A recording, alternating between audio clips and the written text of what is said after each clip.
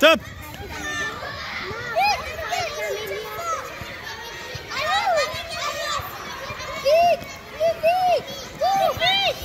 Attention de ne pas toucher, sinon vous partez au début.